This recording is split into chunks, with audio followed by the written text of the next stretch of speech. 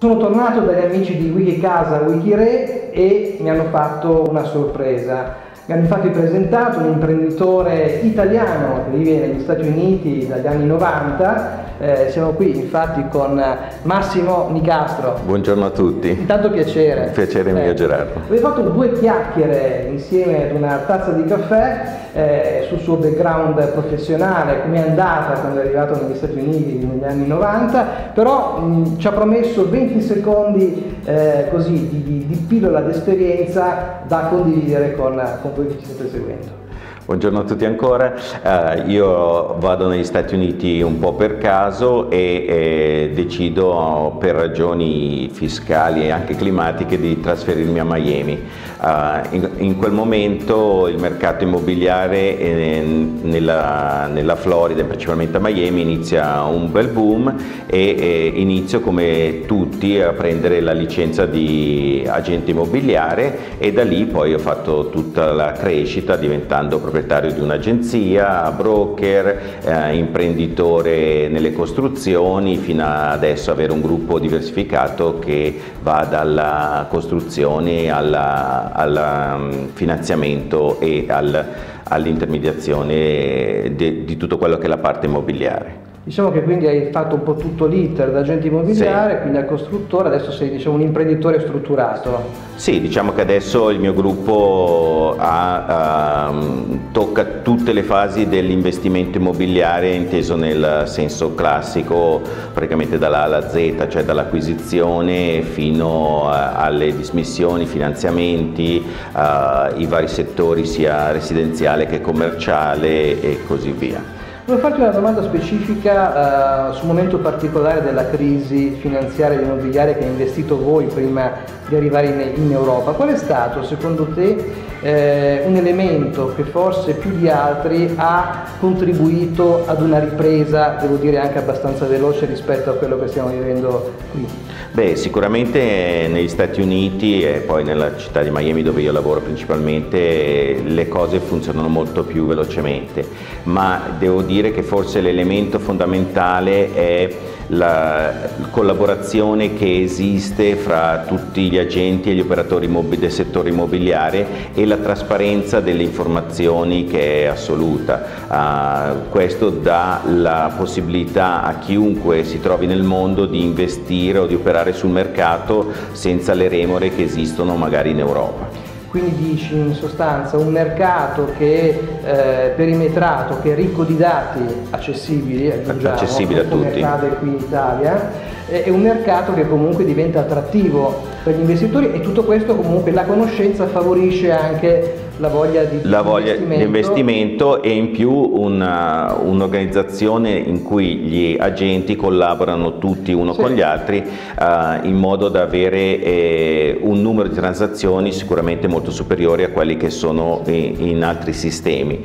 uh, per cui eh, in, nella pratica se un, chiunque fosse in qualsiasi parte del mondo volesse investire negli Stati Uniti uh, può sapere volesse una tipologia di immobile sa benissimo quanto è stato pagato, se c'è un mutuo, uh, quanto è stato pagato quello vicino, quello sotto, quello sopra, per cui è abbastanza facile avere una valutazione eh, di massima. Dopodiché si ricorre a un agente immobiliare che a, eh, grazie al sistema eh, dell'MLX eh, non, eh, non, costa a chi, a chi compra ed è un professionista alla pari di, del commercialista di fiducia o del medico di fiducia. Una percezione diversa sì. diciamo, rispetto alla nostra, ecco, dell'agente immobiliare, poi immagino che ci saranno quelli più bravi e quelli un po' meno bravi anche, anche lì. Beh, come in tutti i settori sì, ci, okay. sono, ci sono chi è che lo fa così a tempo perso e chi invece è un professionista che lavora e i risultati risultati si vedono, sì. ci sono agenti immobiliari che guadagnano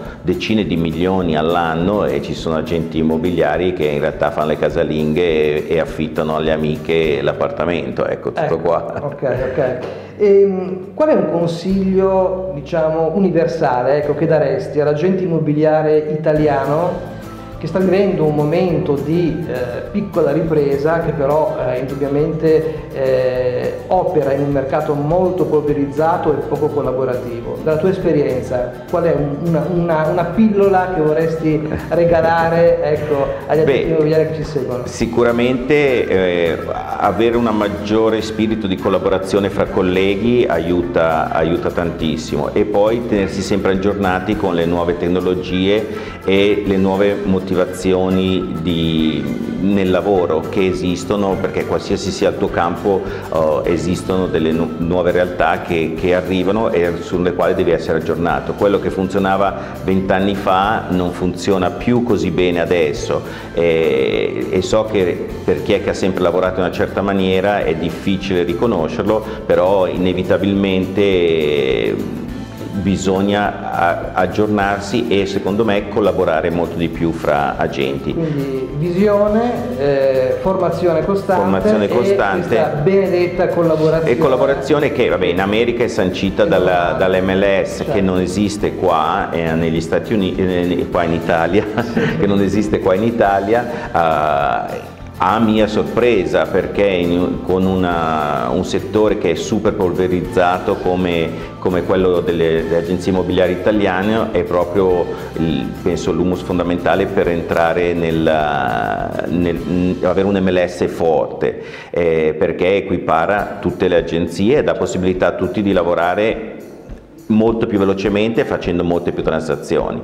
Eh, si arriverà, si arriverà anche a questo secondo me, è ormai inevitabile lo speriamo tutti, assolutamente. Io so che sei in Italia in questo periodo non per caso, perché mi hanno riferito che hai deciso di eh, investire in un progetto innovativo per il settore che è proprio quello eh, legato agli amici di Wikire, Wikicasa. Corrisponde vero? Sì, sicuramente diciamo attraverso un mio cliente, poi diventato anche socio in alcune operazioni immobiliari, eh, sono venuto a contatto con uh, Pietro, una persona eh, di cui stimo la capacità e con, che mi ha illustrato l'idea di lanciare eh, l'MLS in Italia. Io penso che sia quello che in America si chiama un no-brainer, cioè è fu il futuro che sta arrivando e giustamente ho investito parte dei miei fondi personali per riuscire a portare a termine con successo questa impresa che penso sarà il nuovo modo di lavorare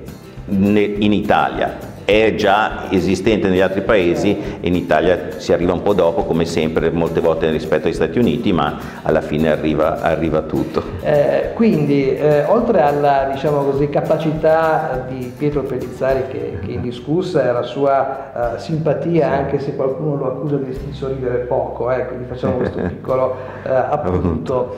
Eh, qual è l'elemento che ti ha uh, spinto a credere in questo progetto, quindi del dell'MLS ma anche del portale Wikicasa che ricordiamo essere un portale dedicato esclusivamente agli agenti immobiliari. È la potenzialità del progetto per cui pur adattandolo alla, alla realtà italiana eh, questa combinazione di WikiRE che è l'MLS con Wikicasa eh, dà la possibilità eh, di, uh, agli agenti immobiliari di avere degli strumenti moderni eh, che permetteranno una qualificazione sia professionale e un aumento esponenziale del volume, del volume d'affari e questo oh, avrà ripercussioni sul valore della società. Benissimo, benissimo. Grazie mille allora per, tua, per il tuo contributo, eh, arrivando dagli Stati Uniti ti metteremo a frutto per darci visioni sempre più, sempre più ampie. Con molto piacere Gerardo, grazie per avermi eh, qua, okay. piacere mio. Un saluto a tutti allora. Saluto a, a presto.